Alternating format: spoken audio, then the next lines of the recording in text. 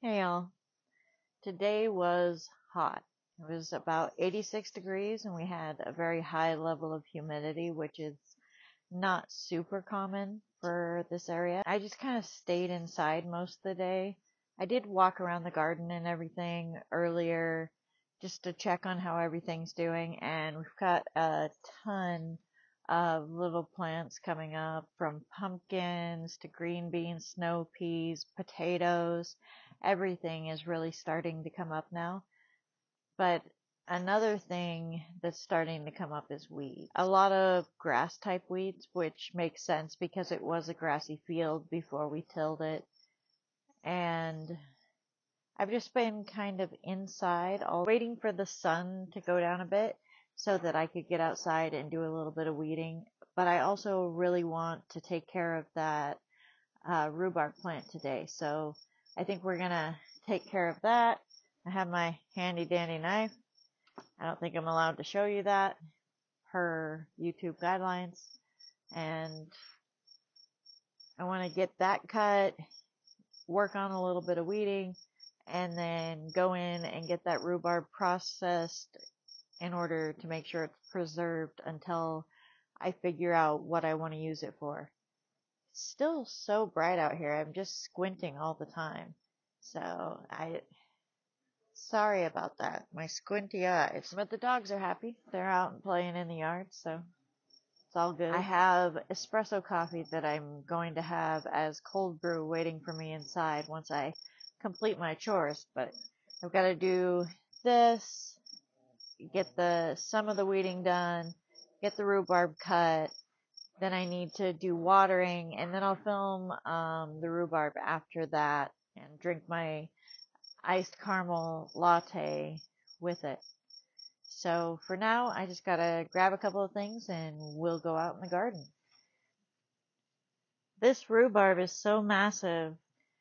Yeah, I don't have a lot of experience with rhubarb other than the rhubarb that my grandmother had in her yard when I was growing up. And every year we'd make pies and cakes with it. But other than knowing it's supposed to be that bright red color, I'm not a hundred percent sure how to know if it's ready. So I guess I will just go off of the look of it. Cause I see some of it that's clearly not ready. Like this one here is not all the way red, but there's some that are in here that are. So I'm just going to look for ones that are clearly red and actually I'm going to look this up. Well, Google says that this rhubarb is well past ready to be harvested. So let's get to it. Oh my god, it's so big. I need my knife. There's one.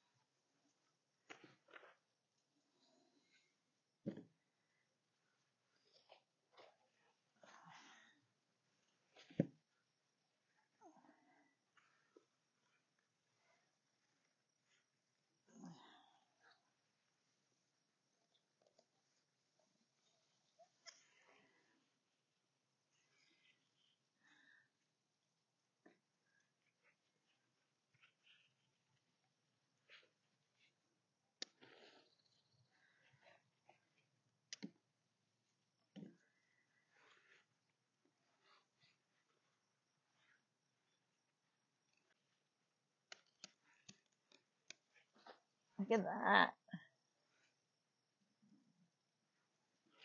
These are amazing.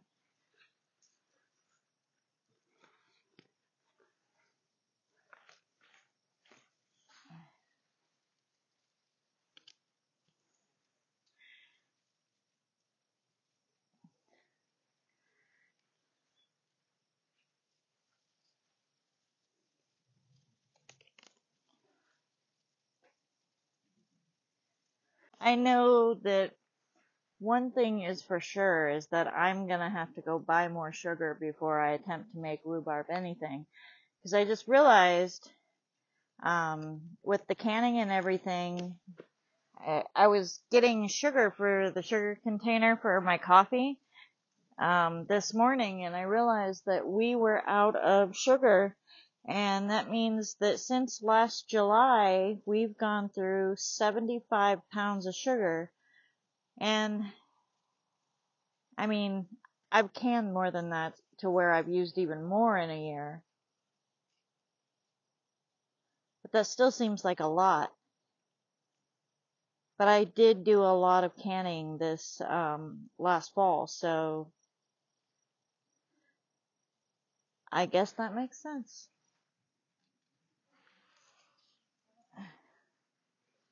Oh man, that one's all broken through.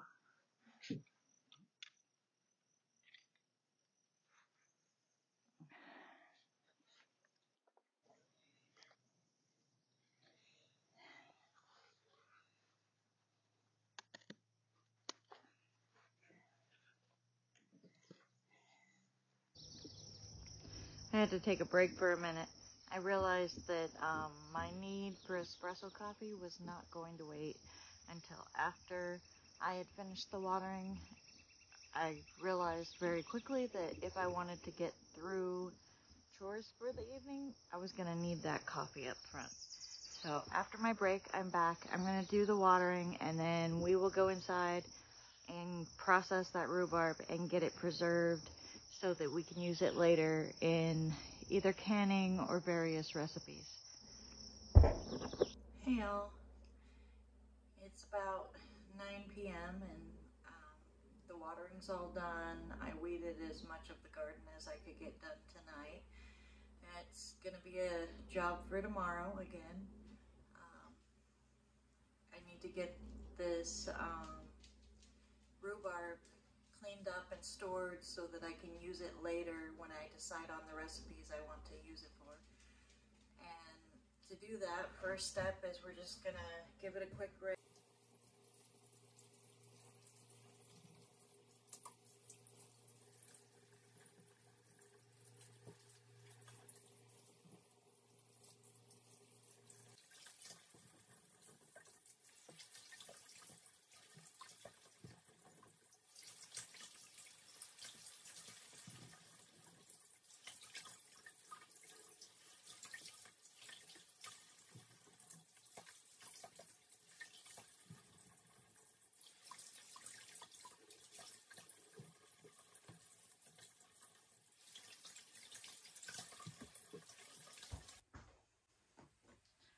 And now I'm just gonna basically cut this in about half inch pieces and store it in a freezer bag in the freezer until I'm ready to use it.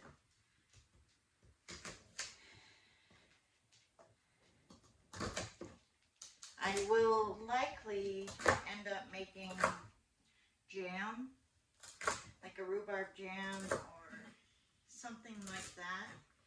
And I definitely will end up making a pie. And I want to make the cake that my grandmother used to make. That sounds delicious. It's been so many years since I had it. I can, I mean, it's been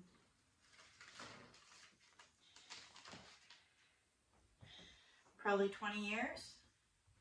So I look forward to trying to make it and to get it right because been a while.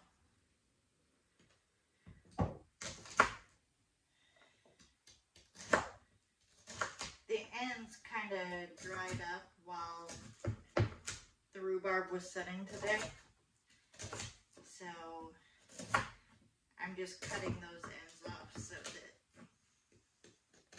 some of this is hard to cut. I'm cutting those ends off because I don't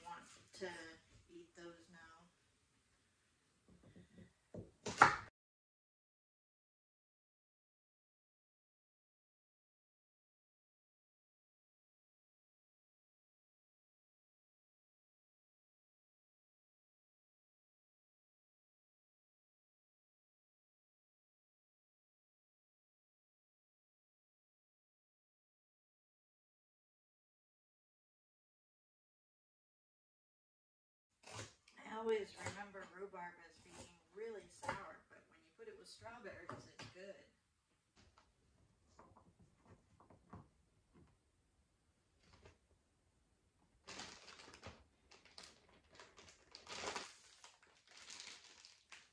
All right, all. The rhubarb is cut up. I'm going to put that in the freezer. Then I'm going to come in here. I'm going to clean up my kitchen just a little bit. Get the house done for the night.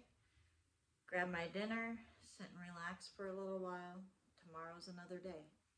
If you enjoyed the video, please hit the like button and subscribe.